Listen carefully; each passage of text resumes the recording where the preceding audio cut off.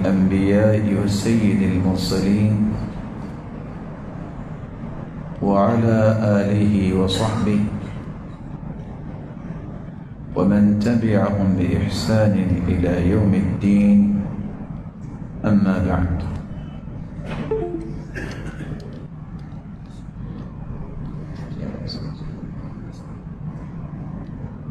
فأعوذ بالله من الشيطان الرجيم.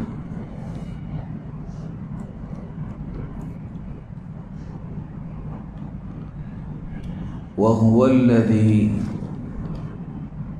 أنشأكم من نفس واحدة فمستقر ومستودع.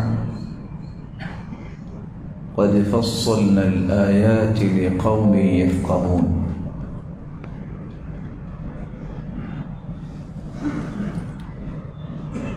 لائق سب تکریم سامعین مکرم اللہ حضر جلال ہم سب کے خالق، مالک اور رازق ہیں۔ اس کا احسان عظیم ہے کہ جس نے ہمیں اپنے گھروں کے ساتھ اور علم و دانش کے ساتھ وابستگی نصیب فرمائی۔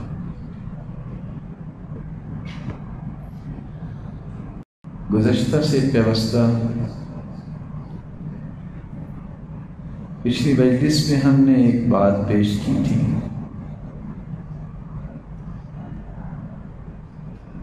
آج اس بات کی ہم تکمیل کریں گے ہم نے یہ بیان کیا تھا کہ انسان کو ہمیشہ دنیا کے اندر اپنے گھر اپنے مال و دولت، اپنی خواہشات، اپنی تمناؤں کی تکمیل کا ہی ایک شوق اور ذوق اور تڑپ ہوتی ہے۔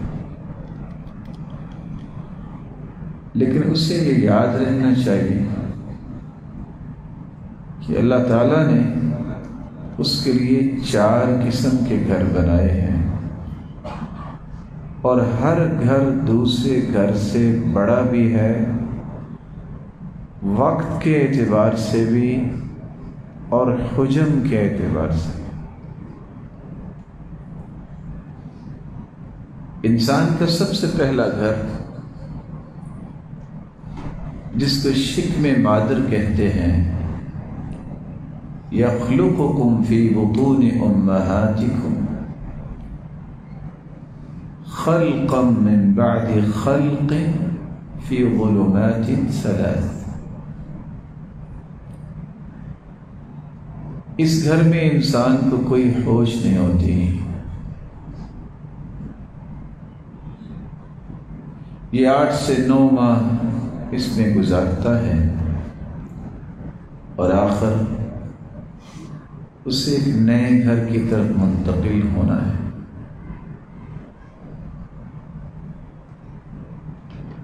وہ نیا گھر اس کا وہ دنیا ہے، روئے زمین پہ جب اس کا قدم آتا ہے۔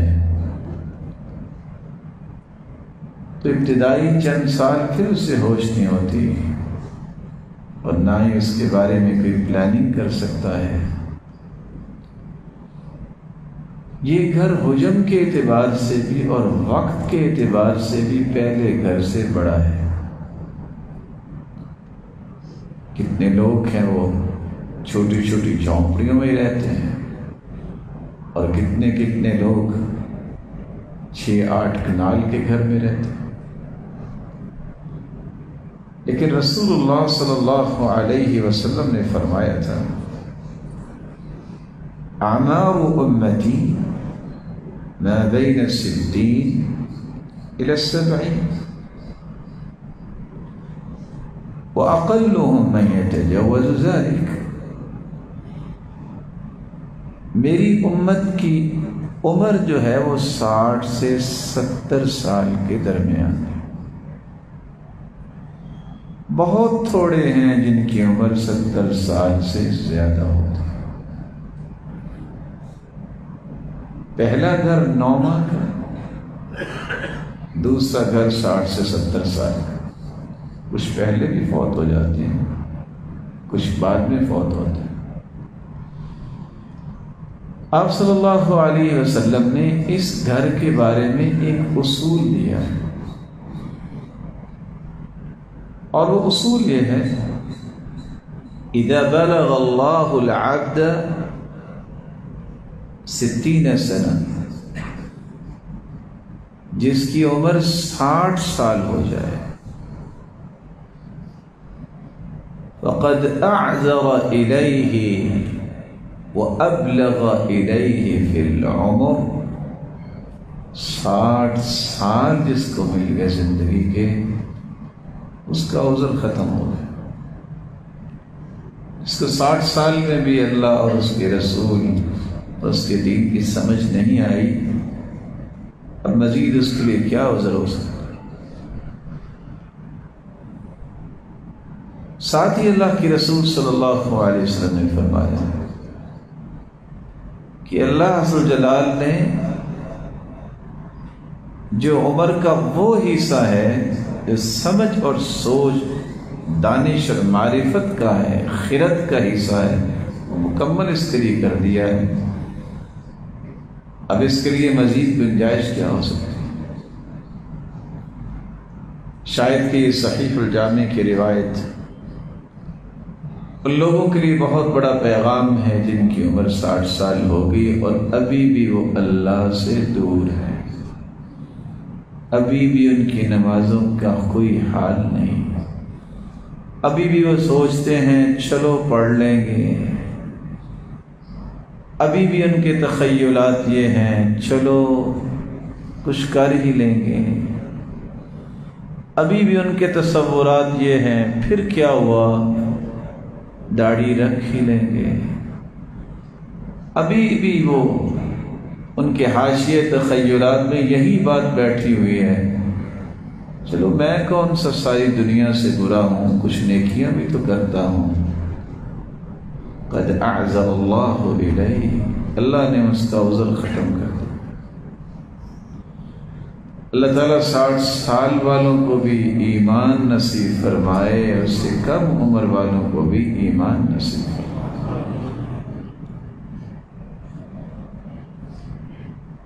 اس ساٹھ سے ستر سال کی زندگی گزارنے کے بعد انسان ایک تیسرے گھر میں منتقل ہوتا ہے۔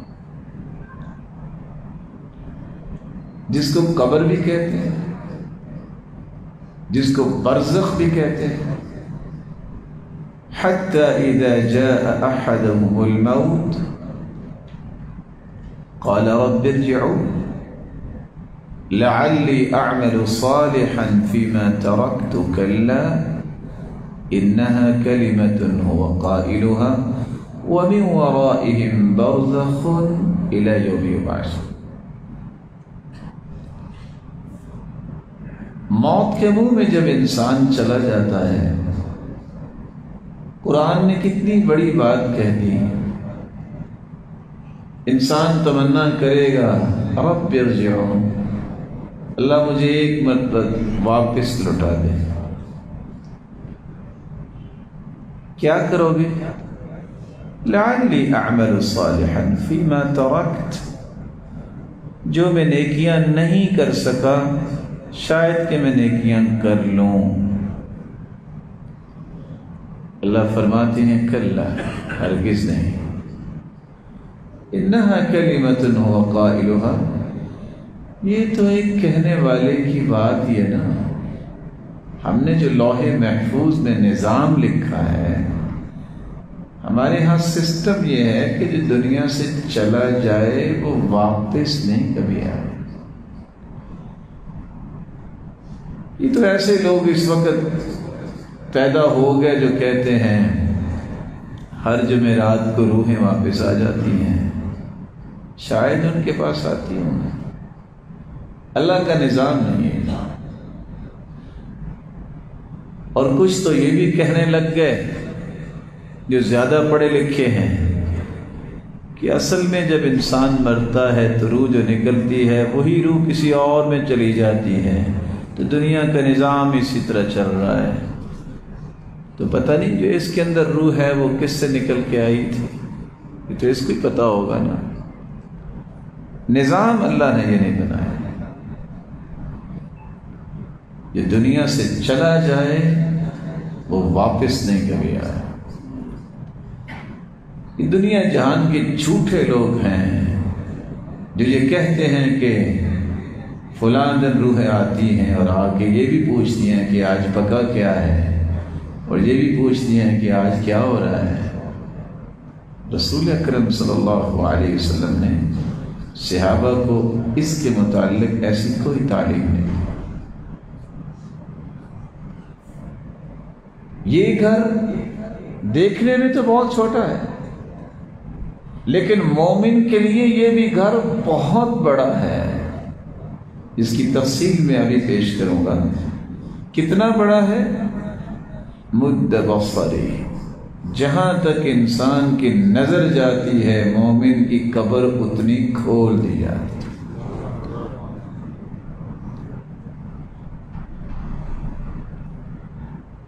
اس گھر میں کتنا وقت گزرنا ہے؟ یہ اللہ ہی جانتا ہے۔ میرے رب کے علم میں ہے کہ کتنے سو سال اور کتنے ہزار سال ابھی قیامت کے باقی ہیں، پھر قیامت آئے گی یہ اس کے علم میں ہے کسی کے علم میں۔ نہیں آخر اس گھر سے بھی اس نے منتقل ہونا ہے۔ قبر سے نکلنا ہے۔ پھر آخری گھر کی طرف اس کا سفر ہوگا۔ اما جنت و اما نار یا جنت یا جہنم۔ یہ چوتھا گھر پہلے تین گھروں سے وقت کے اعتبار سے بھی بڑا ہوگا، حجم کے اعتبار سے بھی بڑا ہوگا۔ کتنے وقت کے لیے وہ گھر ہے؟ خلود، لا موت۔ آواز آئے گی جنتیوں، آئندہ تمہیں موت نہیں آنی، ہمیشہ ابد الآباد تم نے جنت میں گئے جہنمیوں کے لیے بھی آواز آئے گی۔ جو کافر ہیں، جو مشرق ہیں، خلود، لموت، موت نہیں آئے گی۔ اب ہمیشہ ہمیشہ کے لیے جہنم میں جلنا ہی ہے تم نے۔ اللہ تعالیٰ محفوظ فرمائے۔ آج دنیا کا ہر شخص گفتگو کرتا ہے۔ بچوں کی، اولاد کی، مال و دولت کی۔ اس کی گفتگو کا محور اور اس کی گفتگو کا فوکس ہوتا ہے صرف دو گھروں پر۔ بیٹا مل جائے، شادی ہو جائے، گھر بن جائے، نوکری مل جائے اسٹیٹس بن جائے۔ کبھی کسی نے تیسرے گھر کے بارے میں بھی کوئی بات کی؟ کبھی سنا آپ نے؟ کہ کھانا کھا رہے ہوں، وہ قبر کے بارے میں بات ہو رہی ہو کہ اس کی تیاری کیسے کرنی چاہیے؟ وہ گھر اچھا کیسے ہو سکتا ہے؟ اس گھر کو آہستہ آہستہ انسان بھول ہی گیا حالانکہ ہر روز ایک نہیں دسیوں جنازے اٹھائے جاتے ہیں اور قبرستان میں اس کو لے کے جاتے ہیں لوگ۔ اس لیے ضروری ہے اس تیسرے اور چوتھے گھر کے متعلق اسی طرح کی معلومات میرے اور آپ کے پاس ہوں، جس طرح کی معلومات میں دنیا کے بارے میں رکھتا ہوں کہ یہ کریں گے تو یہ ہوگا۔ یہ بزنس اس طرح چل سکتا ہے، یہ کام اس طرح ہو سکتا ہے۔ مجھے اس تیسرے گھر کے متعلق بھی معلومات ہونی چاہیے۔ اگر میں مسلمان ہوں اور اگر میں جنت کا شوق اور ذوق اپنے دل میں رکھتا ہوں، تو آئیے آج اس گھر کے متعلق ہی چند باتیں میں آپ سے شیئر کرنا چاہتا ہوں۔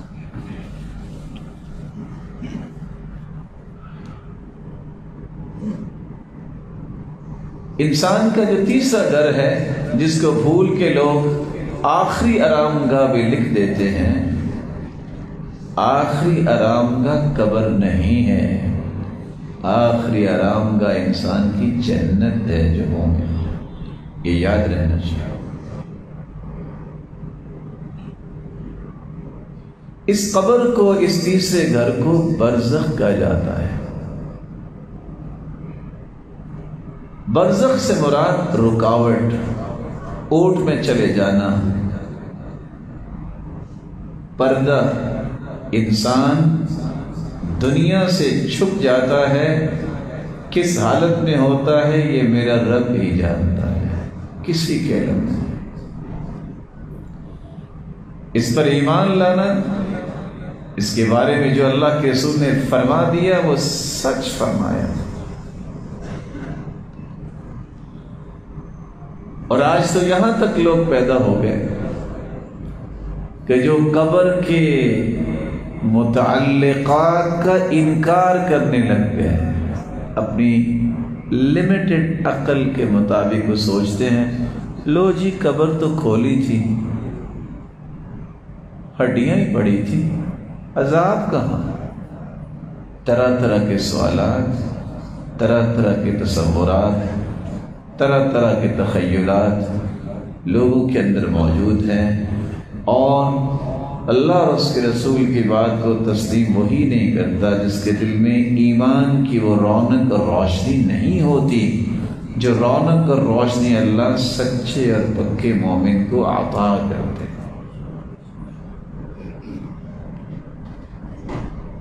امام فرا کہتے ہیں، برزخ وہ جگہ ہے جہاں مرنے کے بعد سے لے کے قیامت کے دن تک انسان کو رہنا ہے۔ اور اس کے لیے ضروری نہیں ہے کہ وہ کسی قبر میں ہی ہو۔ کتنے لوگ پانی میں ڈوب جاتے ہیں، ملتے ہی نہیں۔ کتنے لوگ جہاز میں ہوتے ہیں اور وہ جہاز آج تک نہیں ملا۔ یہ عالم برزخ امام شابی رحمت اللہ علیہ تشریف فرماتے ایک شخص کہنے لگا رحم اللہ فلانا فقد صار من اہل الاخرہ.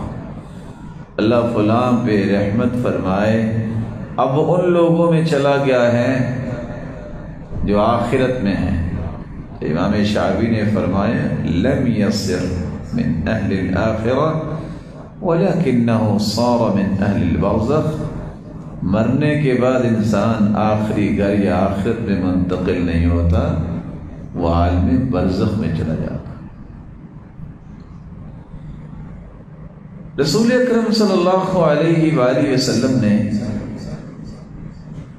اس عالم برزخ کے بارے میں مسلمانوں کو کیا تعلیمات دی ہیں؟ ایک تو یہ سمجھنا ضروری ہے۔ دوسری یہ بات سمجھنا ضروری ہے کہ اس گھر میں رہتے ہوئے سزائیں کس کو ملیں گی اور انعامات کس کو ملیں گی یہ سمجھنے والی بات۔ تیسری یہ بات بھی سمجھنے والی ہے کہ سزائیں کیوں ملیں گی؟ اعمال کون سے ہوں گے؟ اور چوتھی یہ بات بھی سمجھنے والی ہے کہ برزخ کی سزاؤں سے، قبر کے عذاب سے بچانے والے اعمال کون سے ہیں؟ یہ چار چیزیں ہر مسلمان کو سمجھنی چاہیے۔ اور ہم کوشش کریں گے کہ دو باتیں اور بھی پیش کریں کہ آخر روح نکلتی ہے تو یہ جاتی کہاں ہے؟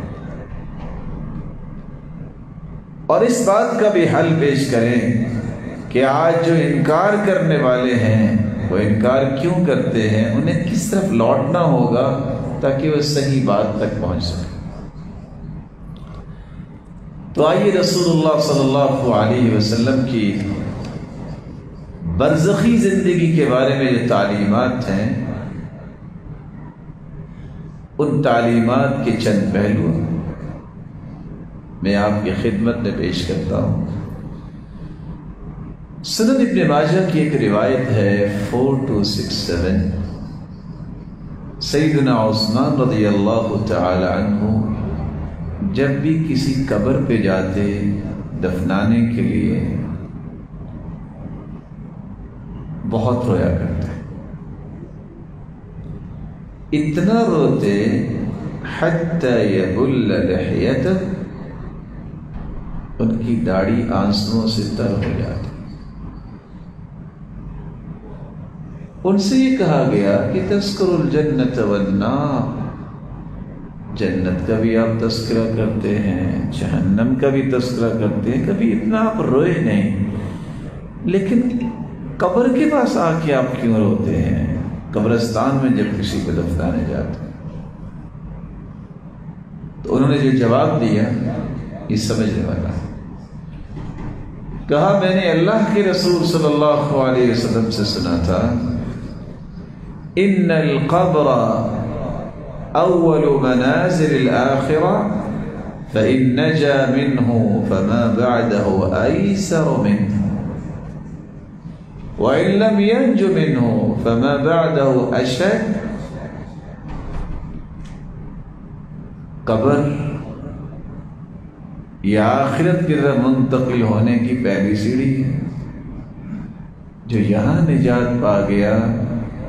بعد میں بھی اس کے لیے نجات آسان ہو جائے اور جو یہاں کامیاب نہ ہوا، اس کے لیے بعد والی گھاٹیاں بہت مشکل ہیں۔ اور کہا میں نے اللہ کے رسول صلی اللہ علیہ وسلم سے سنا تھا، ما رأيت منظرا قط الا والقبر افضع من قبر جیسی بھیانک جگہ میں نے دیکھی تو اللہ جلال اس بھیانک جگہ پہ اپنی رحمت کا نزول فرمائے۔ آپ صلی اللہ علیہ وآلہ وسلم خود جب قبرستان گئے، تو جہاں آپ نے یہ فرمایا ہے کہ قبر جیسی بھیانک جگہ کوئی نہیں وہاں قبر کے کنارے پہ بیٹھے آپ رونے لگ گئے اتنا روئے۔ حتی بل سوا جس جگہ پہ بیٹھے تھے وہ مٹی آنسوں سے تر ہو گئی اور آپ کیا کہنے لگے؟ یا اخوانی، لمثل هذا فاعدوا میرے بھائیوں، اس قبر کی تیاری کرو اس قبر کی تیاری کرو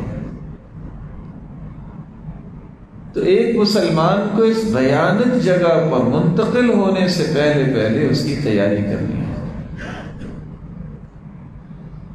صحیح مسلم کی ایک روایت ہے، سیون ون فور زیرو۔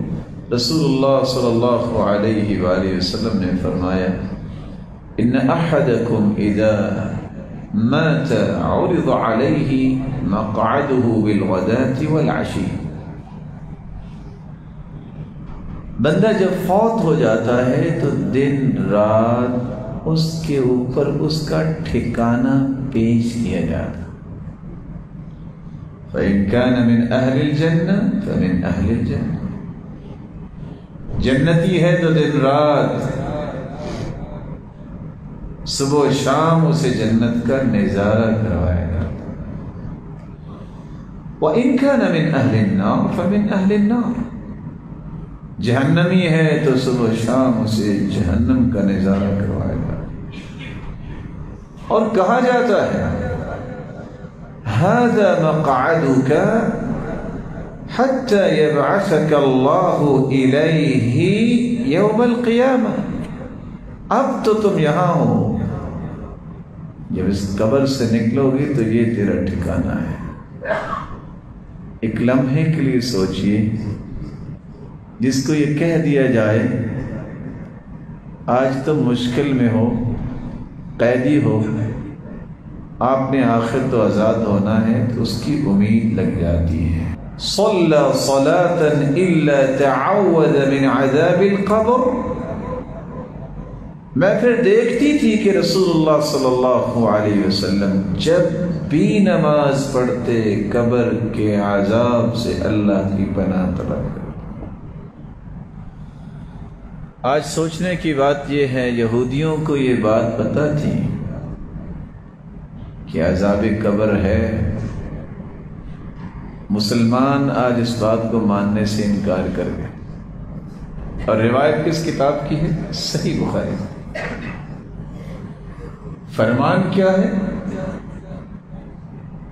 ان عذاب القبر حق عذاب القبر حق عذاب قبر یہ حق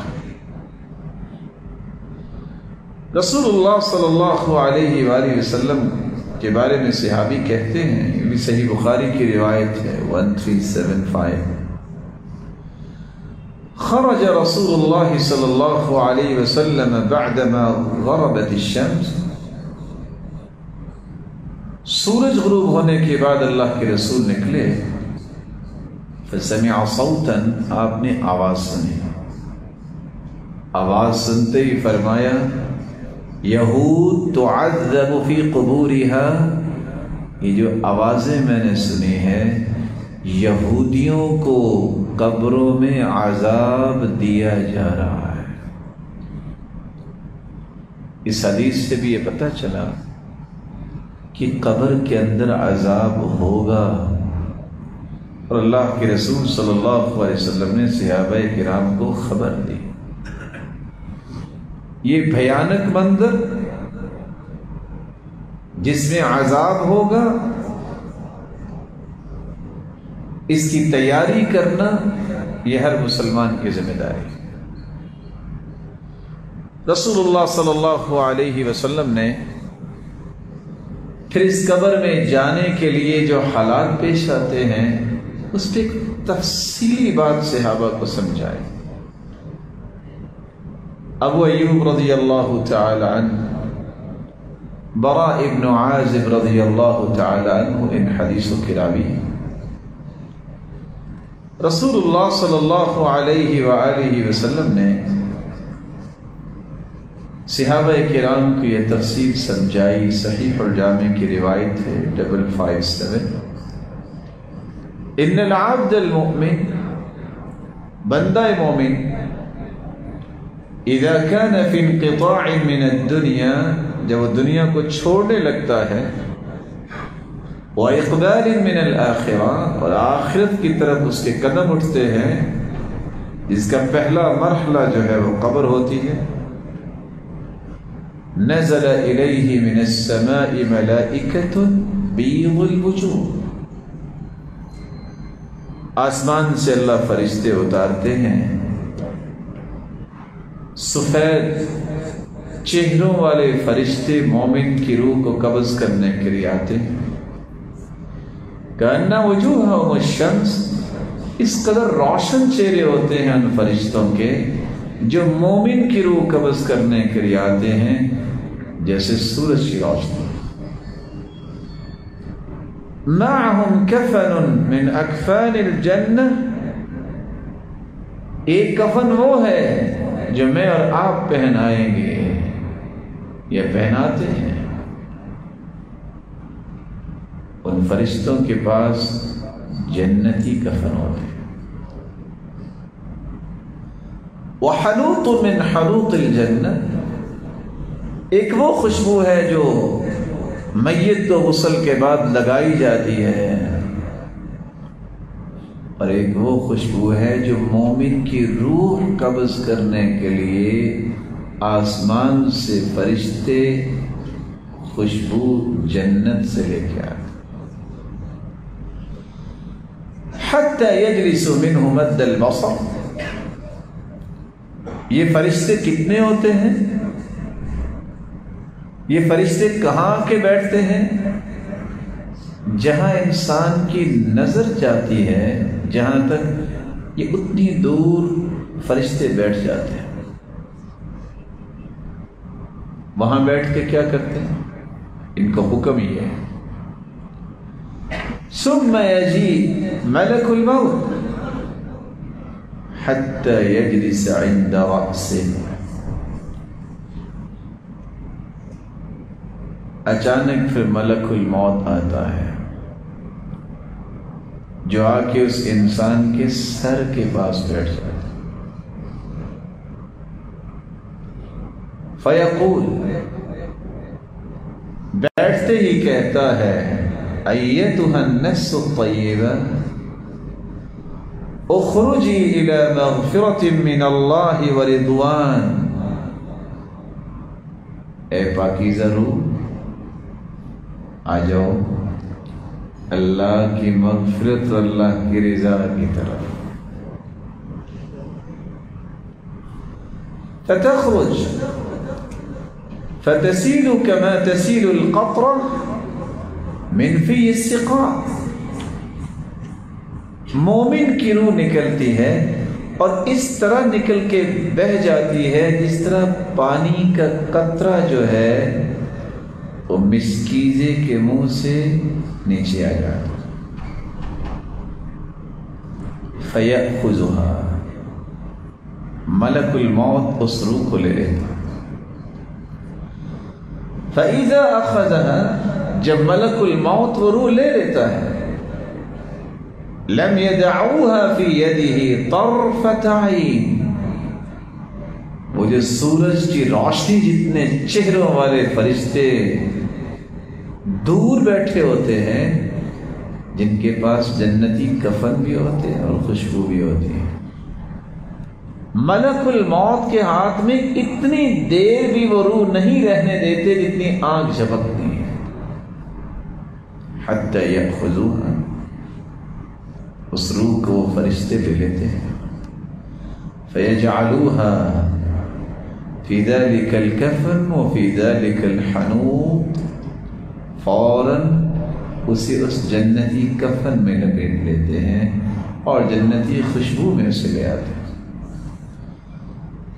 ويخرج منها كأطيب نفحة مسك وجدت على وجه الأرض اس قدر خوشبو اسرو سے پھر آتی ہے کہ دنیا میں کسی کستوری کی ایسی خوشبو نہیں۔ فیسعدون بها اور وہ آسمان سے آنے والے فرشتے اس روح کو لے کے آسمان کی طرف ہی چڑھنا شروع ہو جاتے ہیں۔ فلا يمرون على ملأ من الملائكة إلا قالوا۔ جب بھی وہ فرشتے دوسرے فرشتوں کے پاس سے گزرتے ہیں، تو وہ فرشتے سوال کرتے ہیں، ما هذا الروح الطيب یہ پاکیزہ روح کیسے ہے؟ فیقولون، یہ روح لے جانے والے فرشتے کہتے ہیں، فلان ابن فلان بے احسن اسمائه التي كانوا يسمونه بها في الدنيا۔ یہ فلاں کا بیٹا فلاں ہے۔ اور وہ سب سے اچھا نام جو دنیا والے اس کا نام رکھتے ہیں، وہی نام فرشتے ان فرشتوں کو بیان کرتے ہیں۔ حتی ینتہو به الى سماء الدنیا، آسمان تک پہنچتے ہیں۔ فیستفتحون له۔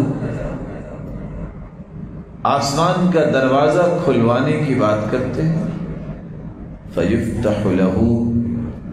پہلے آسمان کا دروازہ کھولا جاتا ہے۔ فيشيعه من كل سماء مقربوها إلى السماء التي تليها۔ پھر وہاں سے اور فرشتے ان کے ساتھ مل جاتے ہیں۔ اگر اس کا معنی سمجھنا ہو تشبیح نہیں اگر کسی نے یہ کہنا ہو کہ اسلام آباد اکٹھے جائیں گے اور اپنے اپنے شہر میں رہو، وہاں سے ساتھ ملتے جائیے گا۔ اللہ کے نورانی فرشتے پہلے آسمان سے اس کے ساتھ ہو جاتے ہیں۔ یہاں تک کہ ہر آسمان پہ پہنچتے ہیں، دروازہ کھلوایا جاتا ہے اور روح کو لے کے یہ جا رہے ہیں اور فرشتے بھی ساتھ جا رہے ہیں۔ حتی ینتہی السماء السابعہ، یہاں تک کہ ساتویں آسمان تک پہنچ جاتے ہیں فیقول اللہ عز وجل اکتبوا کتاب عبدی فی علیین اللہ کا حکم ہوتا ہے میرے اس بندے کا نام علیین میں لکھ دو۔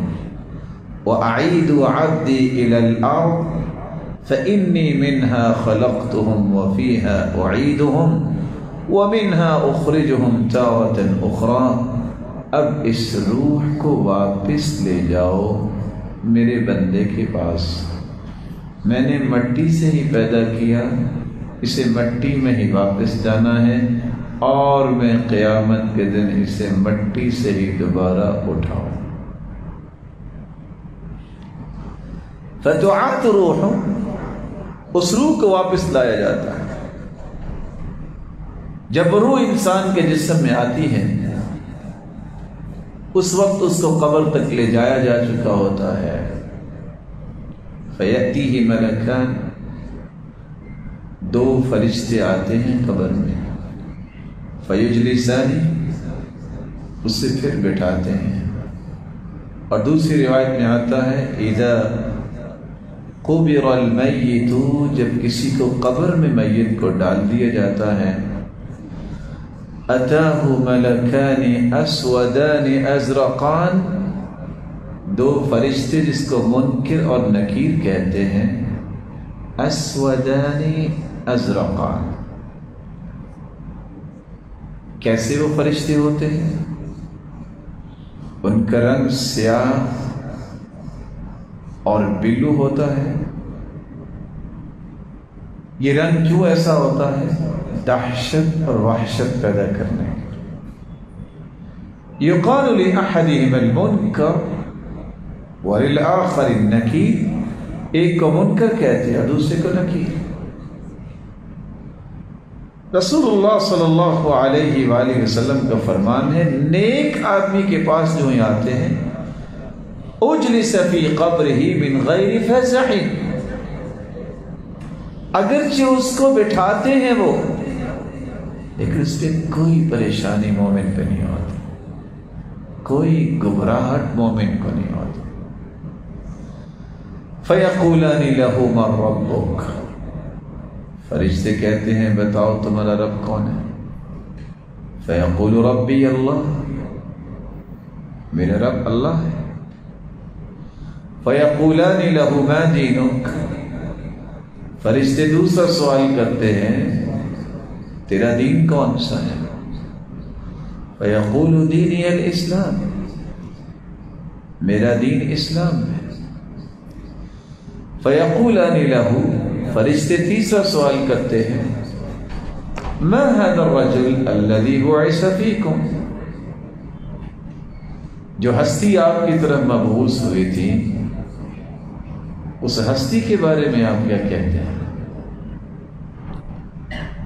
تو مومن کہتا ہے ہوا رسول اللہ وہ اللہ جلال کے سچے رسول اور دوسری روایت میں آتا ہے کہ مومن کہے گا وہ عبد اللہ و رسول وہ اللہ کے بندے اور اس کے رسول ہیں۔ اشہد اللہ الہ الا اللہ وان محمد عبده ورسوله میں گواہی دیتا ہوں کہ اللہ کے سوا کوئی عبادت کے لائق نہیں اور محمد صلی اللہ علیہ وسلم اللہ کے بندے اور اس کے سچے رسول۔ اور تیسری روایت کے الفاظ ہے کہ مومن یہ بھی کہے گا،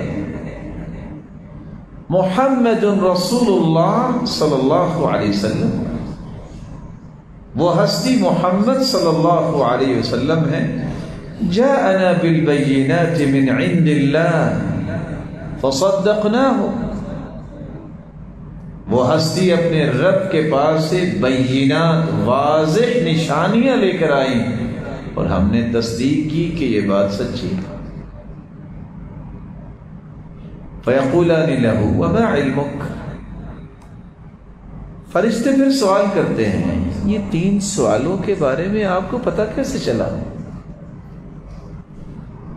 بندہ مومن جواب دیتا ہے، قرأت کتاب اللہ فآمنت به وصدقت۔ میں نے قرآن پڑھا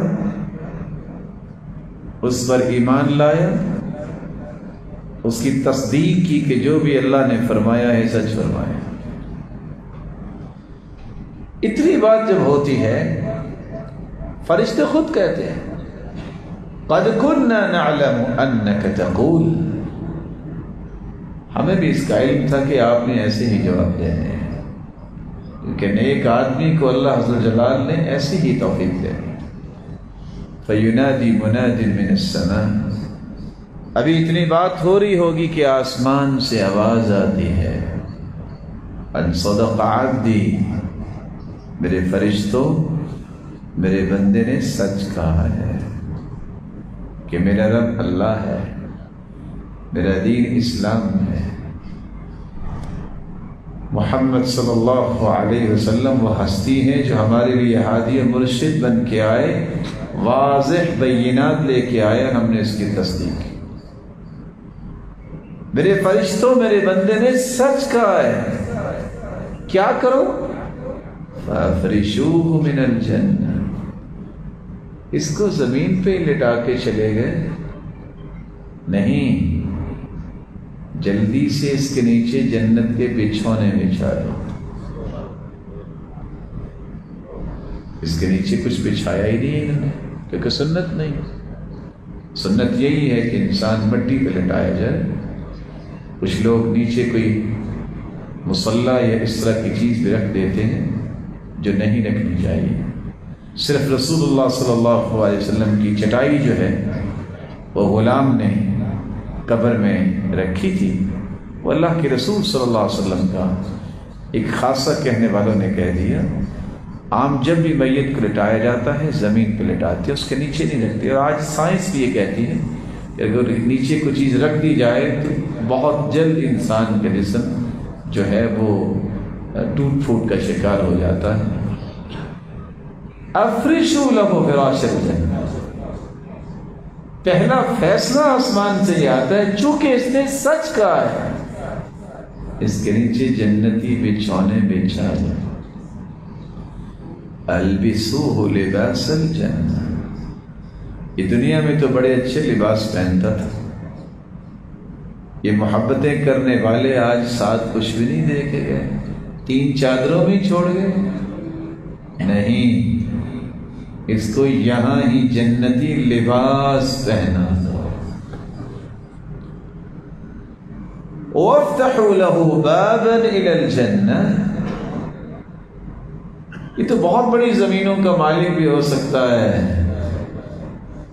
چھوٹی سی اندھیر کوٹری میں اس کو چھوڑ کے چلے گئے۔ جنت کا ایک دروازہ بھی اس کے لیے کھول دو۔ فَيَأْتِيهِ جہاں سے جنت کی خوشبو بھی آئے اور جنت کی ہوائیں بھی آئیں۔ وَيُفْسَحُ لَهُ فِي قَبْرِ مُدَّ بَصَرِ یہ قبر جو ہے تو چھوٹی سی، اس کو اتنا کھول دیا جائے جتنی انسان کی نظر جاتی ہے، جہاں تک وہ دیکھ پاتا ہے، اس کی قبر کو اتنا کھول دیا۔ وہ اچھی ہے حسن الوجھ فرشتے جنتی لباس بھی پہناتے ہیں، بچھونے بھی بچھاتے ہیں۔ جنت کا دروازہ بھی کھل جاتا ہے، ہوائیں شروع ہو جاتی ہیں، خوشبوئیں آنا شروع ہو جاتی ہیں۔ جہاں تک نظر جاتی ہے، قبر بھی کھول دی جاتی ہے۔ اور ایک خوبصورت انسان وہاں اس کے پاس آ جاتا ہے۔ حسن السیاہ اس کا لباس بھی بہت خوبصورت ہوتا ہے۔ طیب الریح جس سے خوشبو بھی بہت پیاری آ رہی ہوتی ہے۔ فیقول ابشر بالذي يسرك هذا يومك الذي كنت توعد خوش ہو جاؤ، اس دن کا تیرے ساتھ وعدہ کیا گیا تھا، آج وہ دن آ گیا۔ فيقول له من انت ووجهك الوجه يجيء بالخير مومن پوچھتا ہے، آپ کون ہیں؟ آپ کا چہرہ تو لگتا ہے کہ کوئی خیر اور خوشی کی خبر لائے۔ فیقول انا عملک الصالح۔ میں تیرا نیک عمل ہوں جو تیرے پاس آیا اس نیک عمل کو خوبصورت چہرہ، خوبصورت لباس اور خوبصورت خوشبو اور یہ سارے انعامات دیکھ کے مومن کی ایک ہی خواہش اس وقت پیدا ہوتی ہے۔ رب اقم الساعة رب